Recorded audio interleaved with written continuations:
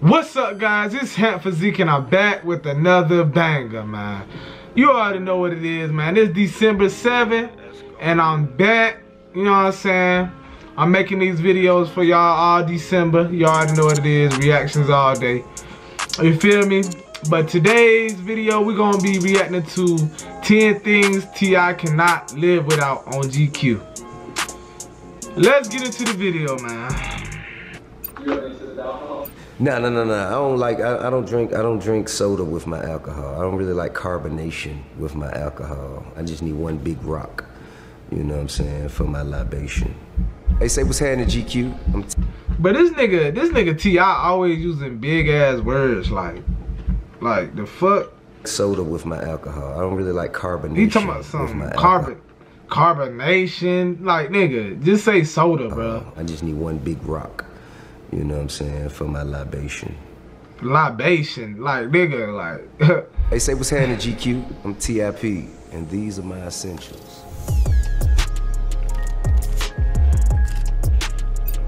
It look like he got some dope tea shit. is an essential part of my day. Maybe three, four times a day I have a cup. Now, not that I run around with bags of tea, just loose oh, tea nah. bags in oh, my pocket. Oh, nah, nah, nah, nah. See, that's already an X for me that's already X for me because I don't even fuck with tea like that. bag or nothing, but I will make a stop and make sure that I get me uh, a cup of Earl Grey tea and agave. Uh-uh. I'd rather I get stopped those, drinking uh, coffee. Those Kool-Aid packets. Three, three maybe four years ago. Tea was the uh, likely alternative. Earl Grey was the first one that I tried because I asked which one has the best taste and the most caffeine. And they directed me to black tea. I began to dabble tea is just nasty, bro. Like I don't see how y'all can drink also tea, chai. bro. I do chai too, bro. Like tea, tea is like it tastes like a plant, bro. I don't see how y'all can drink tea, bro. Tea is like the nastiest drink ever on earth.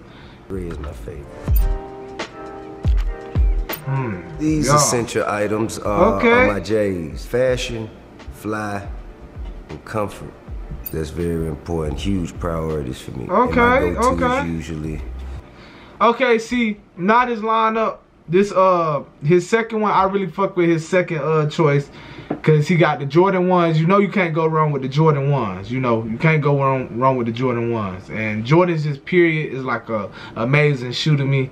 You know what I'm saying? I gotta get my Jordan game up, but I fuck with you, T.I. on that one. The Air Jordans or the Air Maxes, especially if I'm running in and out of town, on and off of planes, you dig? So these right, you gotta be comfortable. The first pair of Jordans that I ever owned, I believe were the number fours, the Jordan fours. Mind you, I was probably in second grade, third grade at the time when they came out. And I just remember how, you know, how big of a deal it was when I got them. I have yeah. been a, a, a loyal enthusiast ever since. Bro, I'm telling you, like, when you get your first pair of J's, you gonna be like an enthusiast like on other J's. Like when you get your first authentic pair, not fake, but authentic, you know what I'm saying?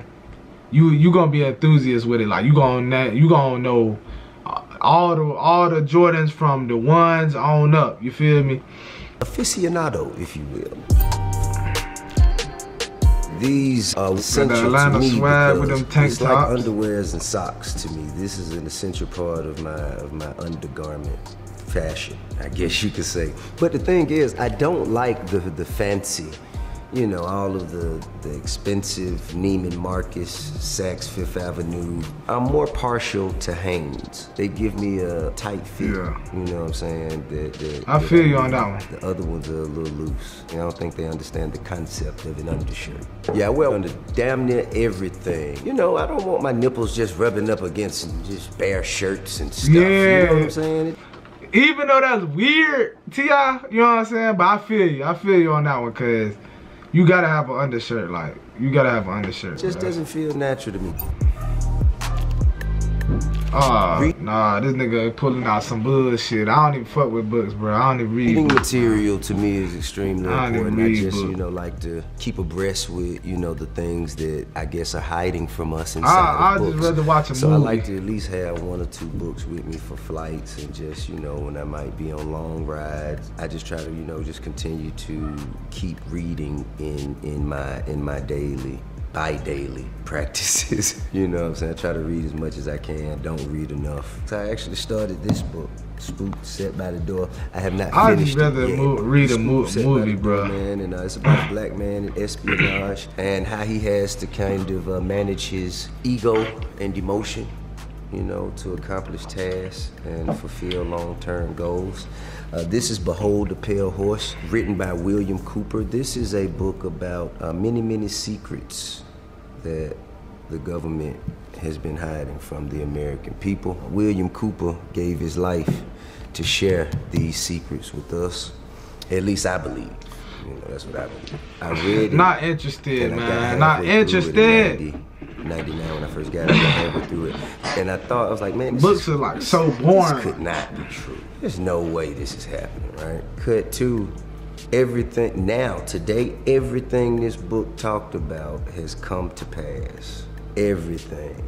And so now, I'm, you know, I, I went back to it and started to read some more information. I, I just can't. I, I can't read books, man.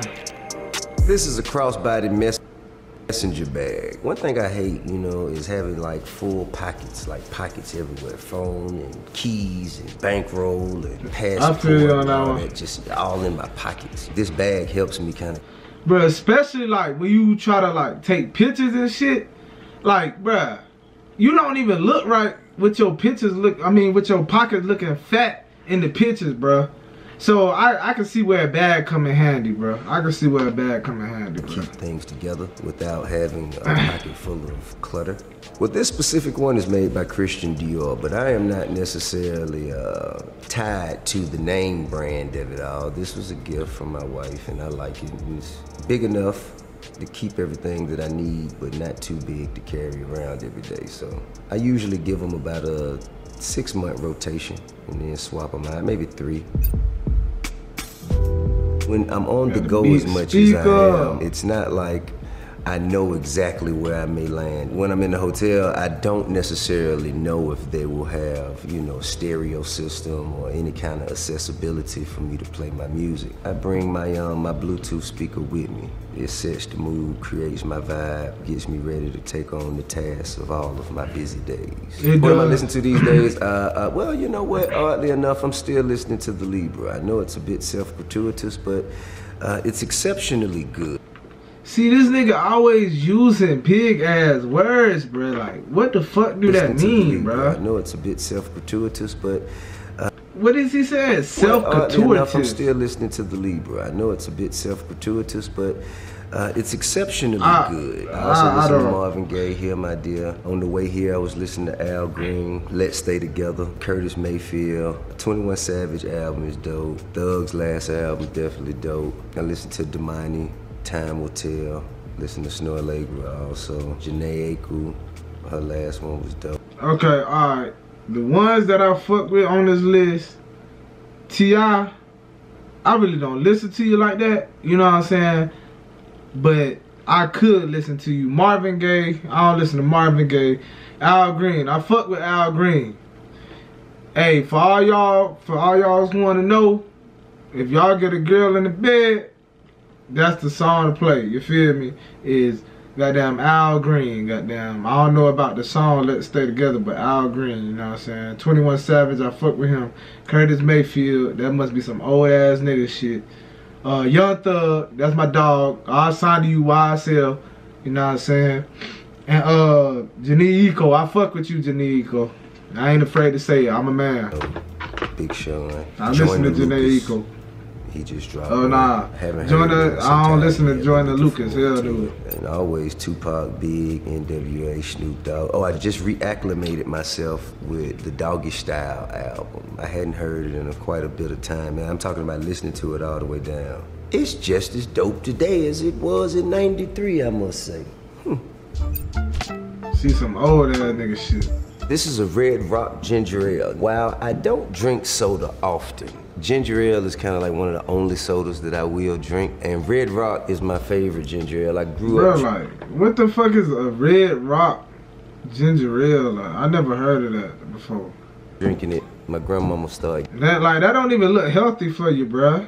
giving it to me as a kid when I got sick, and I didn't really like it then. It's real strong, strong ginger. You know, It burns look, it look like it's not healthy for you, bruh. Just a little bit. But when I got older, I began to enjoy the kick. So now it's kind of like my go-to ginger ale. It's not sold a lot of places. When I see it, I grab it and keep them around. They sell those at the Arab stores, man. No, no, no, no. I don't like. I, I don't drink. I don't drink soda with my alcohol. I don't really like carbonation with my alcohol. I just need one big rock. You know what I'm saying for my libation. Niggas This is a said Clive libation. Christian fragrance. It is uh, 1872, I believe. You know, Clive Christian is a highly concentrated cologne here. When I say highly concentrated, I mean it has a, a thick oil presence. And how concentrated the oil is, it's gonna dictate and determine how long the fragrance will, you know, blend with your skin. Yeah. How long it'll take to wash away. This is uh, an expensive bottle of cologne. Hey, bitch tried to he tried to explain what the uh cologne do, goddamn big words. He just had to break that shit down. the fragrance will, you know. He don't even know what the hell he's talking about. How long it'll take to wash away. This is That's basically that's what he was trying to say. How long it'll wash away? It'll take to wash away. Instead of saying all that shit that he said. uh, an expensive bottle of cologne. They say it's because it's highly concentrated or the most concentrated, but I think you're just paying a lot of money for a fancy name. I definitely have different fragrances for, for different events, different environments, different vibes. I believe your fragrance is a part of your, it's a part of your personality. It's a part of like how you feel, what you're doing. The same way you get dressed, you wear a certain thing. If you if you're in a certain mood, I feel the same way about fragrance. This is a good daytime, you know, just a good daytime on my way out and, and about to start my day fragrance. I mean, it's also good for when you come home at the end of the day, then you take a shower, change clothes, and head back out, you know, to get Oh, your night hell yeah. started. You know, it's also good you for that. It's kind of all around, all purpose, you know what I'm saying? It's essential. If not this particular fragrance, something as good or better.